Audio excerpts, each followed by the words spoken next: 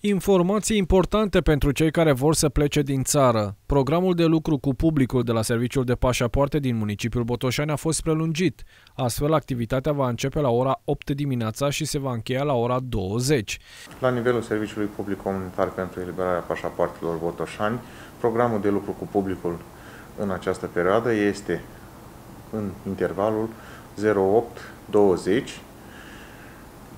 Persoanele care se adresează serviciului sunt programate online, iar în situația în care nu identifică timp liber pentru programare și au anumite probleme speciale deosebite, orice situație este analizată la nivelul conducerii serviciului, astfel încât cetățenii să poată beneficia de documentele de călătorie atât de necesare pentru efectuarea călătoriilor în străinătate. Programările online se pot face pe site-ul epașapoarte.ro.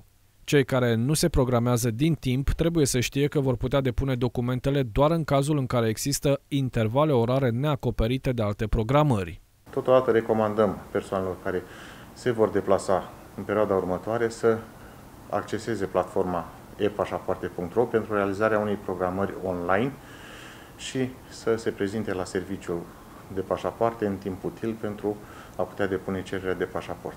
Acest program ar putea fi menținut și după data de 13 august, însă doar dacă vor fi la fel de multe solicitări din partea cetățenilor. Programul de lucru 820 este menținut până pe data de 13 august 2021, dar în funcție de solicitările care vor fi adresate serviciului, la nivelul instituției prefectului județul Botoșani se va realiza o analiză astfel încât să ne adaptăm la solicitările care vor fi în acea perioadă. La Dorohoi, în momentul de față, activitatea este suspendată pe o perioadă nedeterminată.